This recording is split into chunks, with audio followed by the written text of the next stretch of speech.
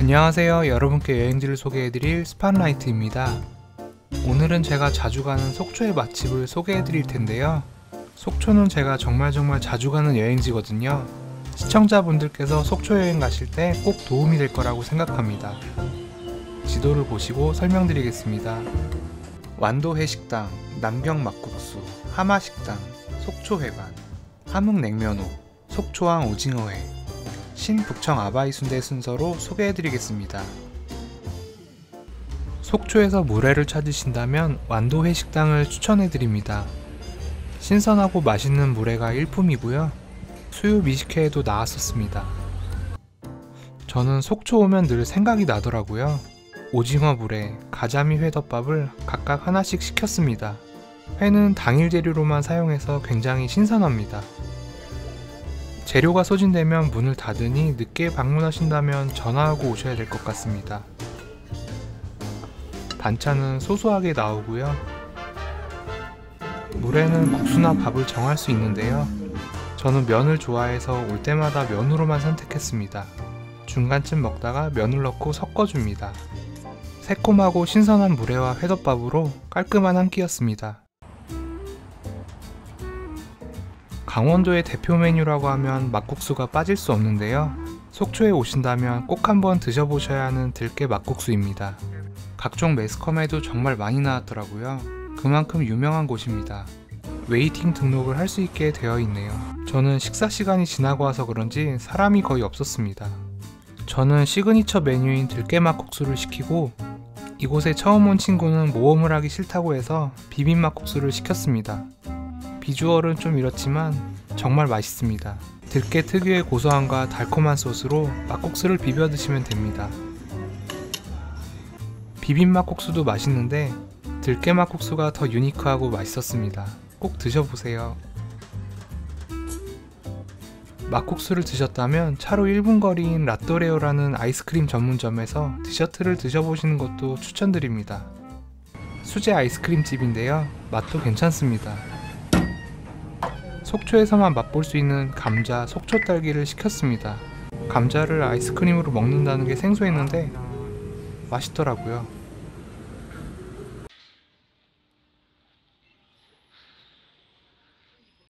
하마 식당은 조용하고 깔끔한 식사를 하실 수 있는 곳입니다.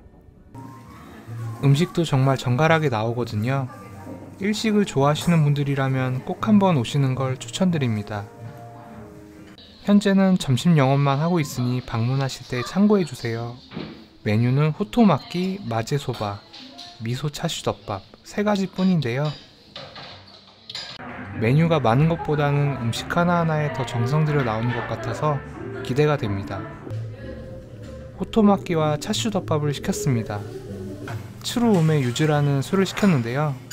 유자향도 깊고 제가 술을 잘 못 마시는데 도수도 높지 않아서 부담이 없더라고요. 근데 가격이 부담돼서 잔술을 시켰습니다. 호토마끼는 크기가 정말 큰데요. 한 번에 먹어야 제대로 맛을 느낄 수 있다고 사장님이 그러시네요. 재료도 신선하고 맛도 정말 괜찮더라고요. 차슈덮밥도 나와서 신나게 비볐는데 비비지 말고 한 수저씩 떠서 고기와 함께 먹어야 한다고 하더라고요. 지금까지 잘못 알고 먹었네요. 그래도 맛있게 먹었었는데. 어쨌든 차슈는 풍미가 가득하고 부드러웠습니다. 분위기 좋은 곳에서 만족스러운 식사였습니다.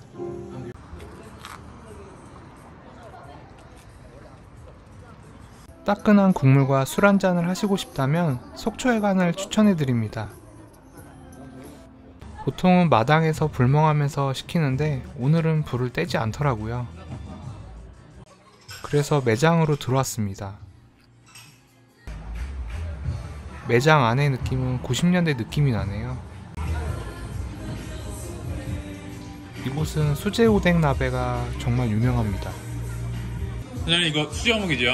네, 이거 수제오가 제가 바로 방금 튀긴 거예요. 이거 동그란 거는 바로 튀긴 거라 바로 드셔도 되고요. 네. 야채나 다른 것들 숨좀 줍고 퍼지면 드시면 돼요. 알겠습니다. 감사합니다.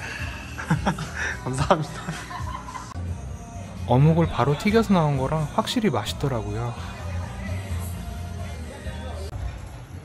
국물도 맑은데 깊은 맛이 나서 좀 괜찮았습니다.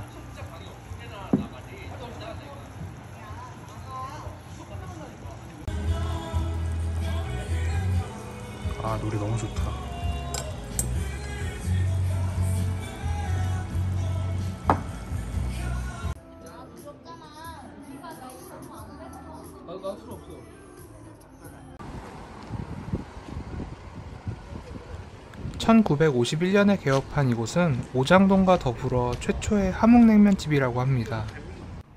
넷플릭스의 냉면 랩소디에도 나오고요. 수요 미식회에도 나오고 정말 정말 유명한 식당입니다.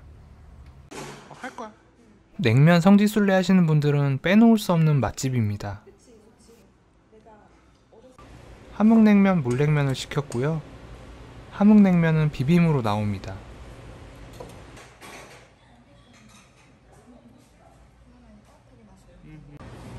모냉면 두 개? 응. 화분냉면 찍었어. 함흥 하나 물 두 개요. 맛있게 드세요. 감사합니다. 아 이게 하몽이에요? 이거 할머니는 아나 나도 이거 시킬 거 같다.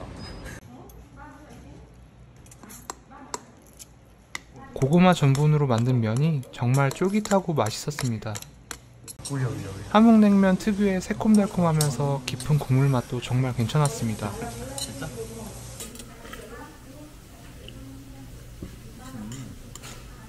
이거 뭐?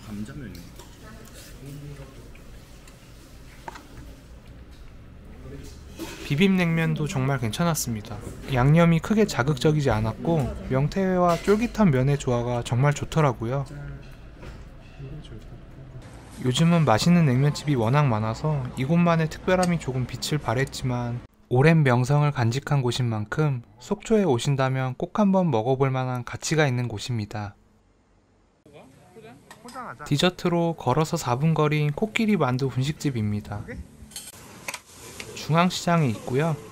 이곳은 떡볶이도 유명하지만 꽈배기나 도너츠 종류가 정말 괜찮습니다. 중앙시장에 오셔서 닭강정 사가시는 분들은 여기도 추천드립니다. 맛은 다른 꽈배기와 다 비슷하거든요. 하지만 식감이 더 바삭합니다.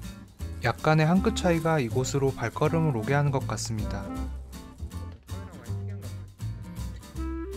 신선한 오징어 요리를 다양하게 맛볼 수 있는 곳을 찾으신다면 속초항으로 오시면 됩니다.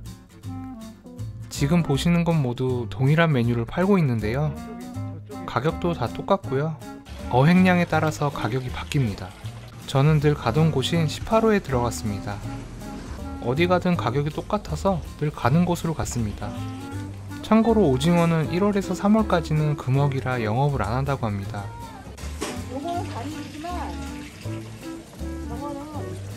먼저 오징어회가 나오고요. 아침에 오징어회를 먹었는데도 새롭네요. 먹어도 먹어도 질리지 않는 것 같습니다.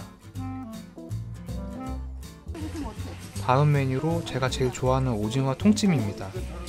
진짜 신선해야만 내장까지 먹어도 맛있는 건데요. 밤에보다 못 팔면 어떻게 오징어 몇 개라고. 어, 정말 괜찮습니다. 꼭 한번 드셔보세요.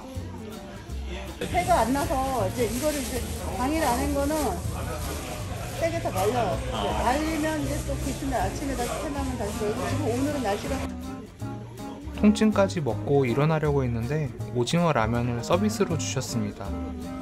따끈한 국물이 좀 필요하긴 했는데 감사히 잘 먹었습니다. 참고로 라면은 진라면을 쓰신다고 하네요. 오징어가 생각나신다면 속초항으로 와주세요.